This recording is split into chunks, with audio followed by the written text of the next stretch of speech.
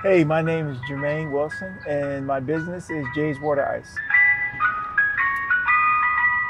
When kids hear my music bell, they get excited and they run out, and their parents is kind of like, no. Once they see me as a black driver, they tend to turn away. I'm the ice cream man, you know what I mean? Like, what do you expect? What do you want? And that's what I mean. Like, kids is excited. Kids don't, they don't know. But it's like they look for their parents for the money, and that's one struggle that I am dealing with now.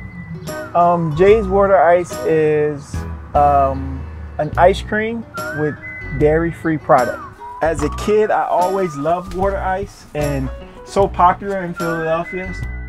I would go back and get water ice for myself and family, and we would eat it so fast and be out of it. So I figured, why not sell it here in Iowa? and that's what I did.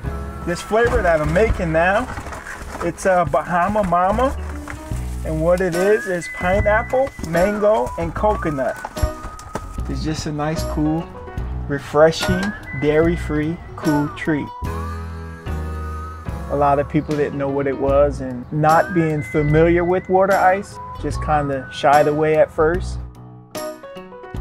One thing they can do is share their experience with me and tell a friend.